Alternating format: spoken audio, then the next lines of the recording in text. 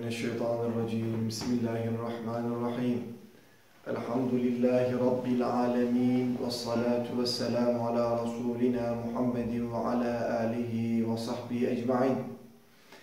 صلوا على رسولنا محمد. اللهم صل على سيدنا محمد.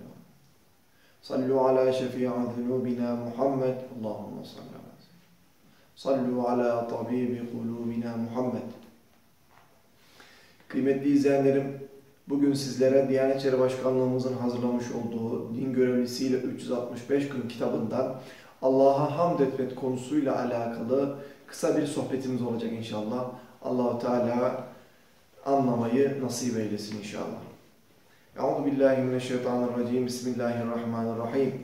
Elhamdülillahi'llezî lehu ma fis semâvâti ve ma fil ardı ve lehul hamdu fil âhireh. Ve huvel hakimul habir. Sadakallahul azim. Rabbimiz Celle Celaluhu okuduğum ayeti kerimede mealen bizlere şöyle buyuruyor. Hamd göklerde ve yerde ne varsa hepsinin sahibi olan Allah'a mahsustur. Ahirette de hamd yalnız ona özgüdür. Hikmetle yöneten, her şeyden haberdar olan O'dur. Konuyla ilgili Efendimiz sallallahu aleyhi ve sellem de şöyle buyuruyor. An Hudeyfete kâle Kâne nebiyyü izâ ehade mazca'ahu minel leyl vada'a yedehu tahte khaddihi ثم يقول اللهم باسمك أحيا وباسمك أموت وإذا استيقظ قال الحمد لله الذي أحيانا بعد أماتنا وإليه النشور Ebu Huzeyfe radıyallahu anh'tan nakledildiğine göre Efendimiz sallallahu aleyhi ve sellem geceleyin uyumak istediğinde yatağına yatar ve Allah'ım senin isminle ölür, senin isminle dirilirim derdi. Uykudan uyandığı zaman da bizi öldükten sonra dirilten Allah'a hamdolsun. Diriltmek sadece ona mahsustur buyururdu. Değerli izleyenler, bir de sizlerle fetva paylaşmak istiyorum. Selanın anlamı ve dindeki yeri nedir? Bazı günlerde ezandan önce veya kılınacak cenaze namazına haber vermek amacıyla camilerde Es-salatu vesselamu aleyke ya Resulallah Es-salatu vesselamu aleyke ya Habiballah Es-salatu vesselamu aleyke ya seyyidel evveline vel ahirin ve selamun alel murselin velhamdülillahi rabbil alemin şeklinde okunan sala, salavat şu anlama gelmektedir. Salat ve selam Allah'ın rahmet ve esenliği sana olsun ey Allah'ın elçisi, sevgili kulu, geçmiş, gelecek bütün insanların hayırlısı. Salat ve selam bütün peygamberlere olsun.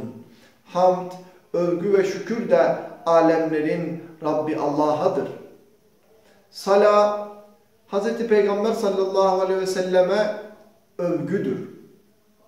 Kur'an-ı Kerim'de ve hadislerde Hz. Peygamber'e salatu selam çeşitli durumlarda salatu selam getirilmesi tavsiye edilmiş ise de ne asr-ı saadette ne de ilk dönemlerde camilerde sala okunmuştur. Bununla birlikte kitap ve sünnette Hz. Peygamber sallallahu aleyhi ve sellem ve diğer peygamberlere salat getirilmesi örneklerine binaen örfümüzde değişik kalıplarda pek çok salam metni var ola gelmiştir. Sonuç itibariyle dini açıdan özel önemi olan gün ve geceleri hatırlatmak, meydana gelen bir vefatı ve kılınacak cenaze namazına haber vermek amacıyla sala okunması güzel bir adet olarak kabul edilir. Ve bu yönüyle de dini açıdan herhangi bir sakınca taşımadığı söylenebilir. Kıymetli izleyenlerimiz, sohbetimizi kısa bir dua ile sonlandırmak istiyorum. Allah'ım senin mağfiretini dilerim. Benden eza veren şeyleri gideren ve bana afiyet veren Allah'a hamdolsun. Değerli izleyenler, bugün sizlere başkanlığımızın hazırlamış olduğu din görevlisiyle 365 gün kitabından Allah'a hamd etmek konulu sohbetimizi yapmış bulunmaktayız. Rabbim Celle Celaluhu tesirini halk eylesin. Allahu Teala yar ve muayin olsun. Hakkı hak bilip ona uymayı, batılı da batıl bilip ondan içtinab etmeyi cümlemize nasip eylesin. Allah'a emanet olun. El Fatiha.